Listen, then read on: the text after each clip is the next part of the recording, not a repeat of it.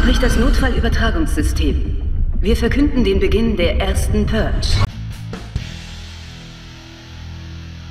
The First Purge. Na gut, man könnte auch sagen The Fourth Purge ist ja der vierte Teil dieses Franchises. Da es aber ein Prequel ist und vor allen anderen spielt, haben wir hier quasi den ersten Teil, die erste Purge. Und das ist eine Franchise und ein Thema, das man aus so vielen Blickwinkeln betrachten kann. Generell die wirtschaftliche Seite finde ich toll, nämlich, dass die bisherigen Teile alle so, glaube ich, so ein Budget von 8 bis 10 Millionen hatten und meistens so um die 70, 80 eingespielt haben. Also im Grunde auf kleinem Level absolute Geldmaschinen sind. Das reine Purge-Thema an sich, habe ich auch beim letzten Mal, als ich Teil 3 besprochen habe, schon ausgiebig drüber gesprochen, finde ich, ist so ein optimales Thekenthema. Das heißt, man lehnt an der Theke am Stammtisch und quatscht mit den anderen, was wäre, wenn, was würde man tun. Denn äh, worum es bei Purge? Gibt es, äh, Purge spielt in einem fiktiven Amerika der nicht allzu fernen Zukunft, wo einmal im Jahr eben die sogenannte Purge stattfindet. Das bedeutet, für zwölf Stunden sind alle Formen von Verbrechen, Gewalttätigkeiten, Überfällen, alles, was man tun will, legal und auf die Art entlädt sich die Wut des Landes und äh, bereinigt sich quasi das Volk, wie auch immer. Im Grunde stecken da aber auch ganz andere Interessen hinter und das wird jetzt ja auch im neuen Film sehr klar thematisiert, nämlich wirtschaftliche Interessen. Das heißt, Konzerne nutzen das Ganze, um möglichst die Reichen äh, zu schützen und die sich nicht schützen können, Armen auszurotten. Und ansonsten hat die Purge-Reihe eigentlich das zu bieten, nämlich viel Action, viel Gewalt und keinen inhaltlichen Bezug. Denn zum Beispiel jetzt im neuen Film taucht keine einzige Person auf, die aus irgendeinem der anderen Filme stammt und äh, es spielt ja unbestimmt vor den anderen. Es gibt keinerlei Bezüge. Der neue Film hat aber dann indes genau das, was die anderen Filme auch ausmacht. Wir haben eben die sogenannte Purge-Nacht hier, die zum, wird sie zum ersten Mal ausgeführt und nur in einem kleinen abgetrennten Teil, nämlich Staten Island. Und da gibt es dann, wie in den vorherigen Teilen, diverse Figuren. Da gibt es die grundgute Nia, die versucht irgendwie ihren Bruder äh, Isaiah zu beschützen. Gleichzeitig auch noch andere Leute. Da gibt es den Dealer Dimitri, der erstmal sich aus der Sache raushalten will, dann ungewollt rein verwickelt wird und dann da volle Lotte loslegt.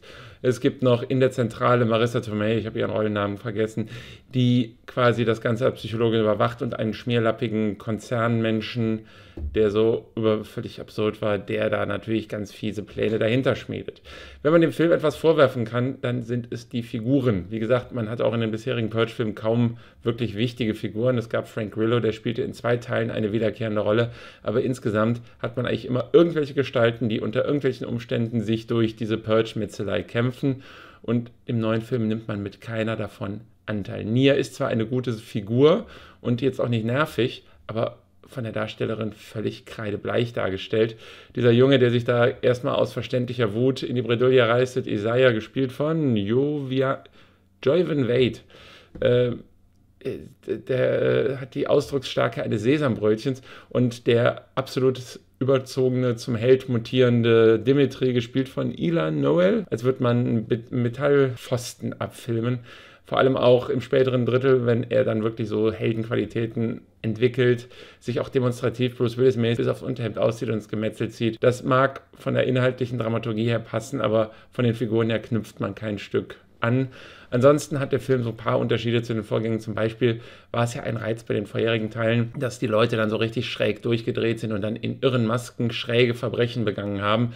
Das reduziert sich hier auf ein paar ziemlich handfeste Schießereien, in denen weniger Wahnsinn regiert, sondern mehr knallharte Action und geradlinige Ballereien und so weiter. Das, was man von Purge so gesehen kennt, einfach nur in einer neuen Version mit ein paar leichten Modifizierungen. Genau das, was die Reihe erfolgreich gemacht hat und genau das, weswegen sie für mich eigentlich nie über Durchschnitt hinausgekommen ist, eben abgesehen von der Grundstory.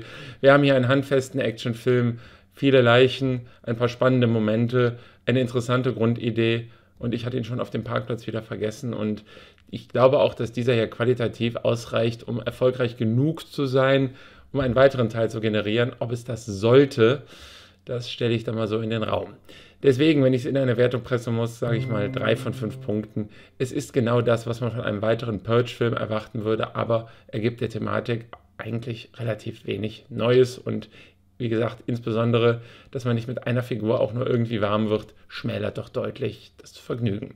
Wie seht ihr das? Freut ihr euch auf einen vierten Purge-Film? Habt ihr die anderen gesehen? Wie findet ihr das Thema und alles drumherum? Das und was auch immer euch einfällt, haut es rein in die Kommentare unter dieses Video. Ansonsten könnt ihr wie immer gerne einen Daumen da lassen, gerne ein Abo und wir sehen uns gerne zur nächsten Kritik. Macht's gut, bis dann, ciao.